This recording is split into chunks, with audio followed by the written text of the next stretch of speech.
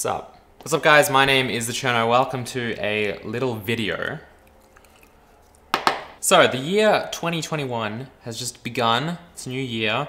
Usually at the beginning of each year I like to give you guys a bit of an update and more or less a little plan for the year. Last year I th think I did that. I don't remember to be honest. As soon as the video is done it's just just, just out of my mind. This year, this year is going to be quite a special year, I think. Because for me, it's the year of creation, the year of creating actual content. Around two years ago, I started building a game engine called Hazel. And I mean, it's been a wild journey so far. There's two parts to Hazel. There's the Game Engine series, which is just a essentially an episodic kind of tutorial series in which I teach how to actually make a game engine. But then there's also this thing called Hazel Dev, which to me is just Hazel, and that is essentially my version of this game engine. So on one hand, I'm teaching how to make a game engine that's based on my game engine, which is called Hazel. A lot of people have no idea what Hazel, Hazel Dev is, all that stuff. I get questions all the time. It's probably my fault for making it so difficult to understand, but hopefully that clears it up a little bit, just in case you're confused. Anyway, so whilst the kind of game engine series version of Hazel is still quite primitive. I mean, we can kind of draw 2D quads in like a 3D space and like move the camera around and we have like an entity-component system. It's still very, very bare bones, of course, because it takes time to build up a game engine if you're showing and explaining everything in an episode to episode kind of basis. But on the other hand, Hazel Dev, which actually started from Hazel, so they started around the same time and I'm pretty sure I kind of took a copy of Hazel's codebase, the, the Game Engine series version of Hazel's codebase, and then branched that off into what is Hazel Dev now. That started around two years ago, but that's not attached to like a video tutorial series. So it's essentially just me developing my game engine as fast as I can whenever I have time. Now from that, I've also kind of turned that development into like the Hazel devlogs, and there's, there's people from the community like Peter and Electron Diffuser helping out. And as a result, it's matured quite quickly and it's getting to the point where we can actually start using it to make something. Over the past few months, you've probably seen in various devlogs such as like Shadows and like there's a 3D physics one, I'll have it linked up there so you can check it out. But you've probably seen that the, the engine's kind of coming together really quickly. We're just slapping in features left, right,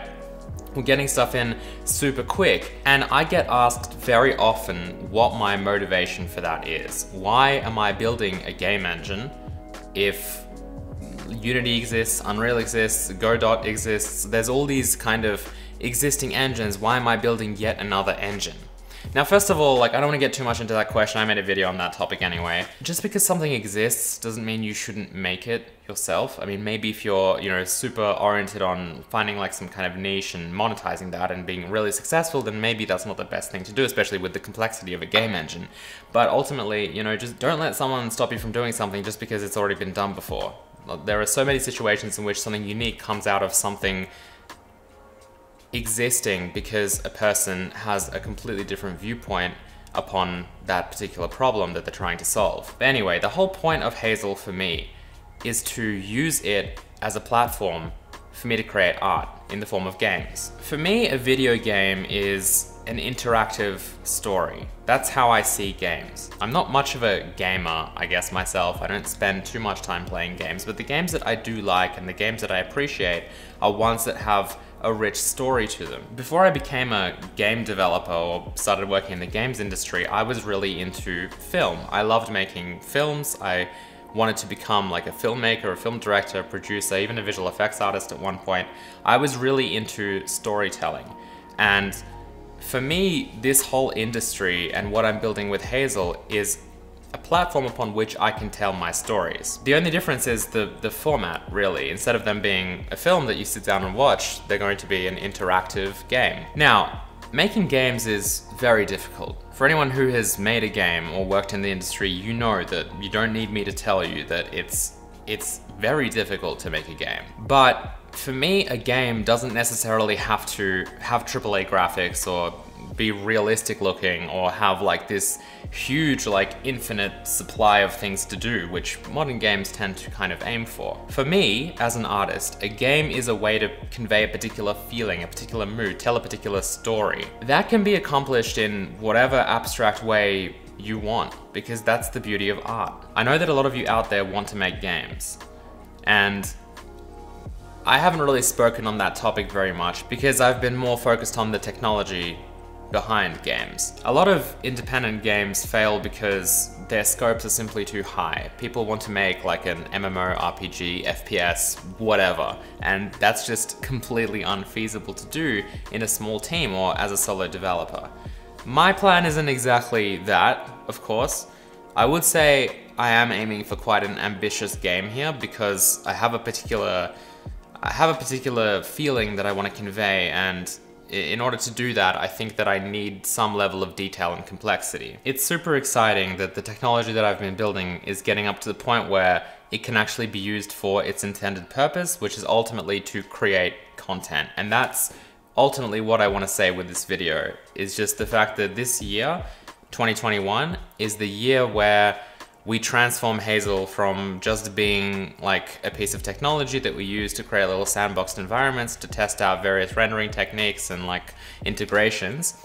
We take it from that into something that's able to actually produce art. And that's extremely exciting and I can't wait to just spend this year making things. Even though I'm a programmer, a software engineer, I don't just see myself as that, I see myself as more of an artist ultimately.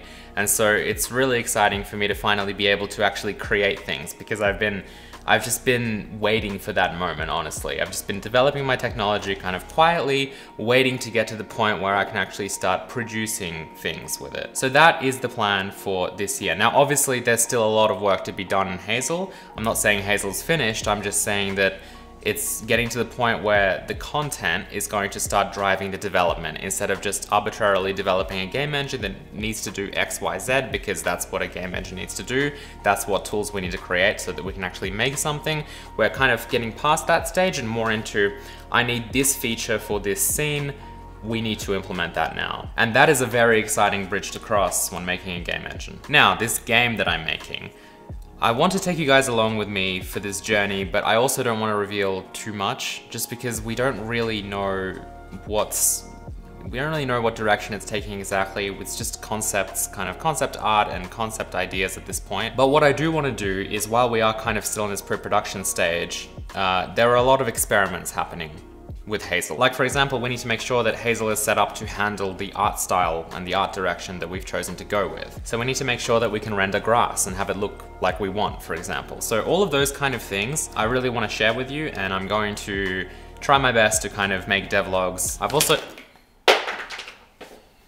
I've also got this huge backlog of like Hazel dev topics to cover, like the shadow stuff and the physics, there's more physics stuff to cover and C sharp. So I think the best way to do this is going to be just by taking input from you guys. If there's something particular that you want to see, please leave a comment below because that would be that would be nice. Maybe that'll help me kind of prioritize the videos that I make. If you guys have any questions about anything I've talked about, if there's anything you want to see me make a video on, please let me know. The general plan for videos this year is going to be, you know, every everything that used to exists is gonna stay. I mean, ultimately, I'm gonna be still focused on the Game Engine series. I'm gonna aim for one episode every week for that, and that will still be live streamed on Twitch TV slash The Um, that's also where I happen to work on Hazel Dev during those live streams as well, so definitely give that a follow if you are interested. The Hazel devlogs are, of course, going to continue, and they might even get more frequent, I'm hoping. And then on the other side of things with like just random, I guess, vlogs or like C++ videos and like the code review series, that stuff is just gonna happen when when I have a spare moment. Ultimately, the thing that I'm prioritizing this year is making actual content, making making actual content with Hazel, and that's what every that's what this year is going to be focused on. A lot of people have also been asking me if I'm going to attempt to make a game in an hour with Hazel like I did a little over a year ago, and the answer is yes. Um, there are a few like workflow improvements I have to make to Hazel Dev first, but I think I'm gonna take Hazel Dev and attempt to make that Flappy Bird style game again or something similar. I don't know, we'll see.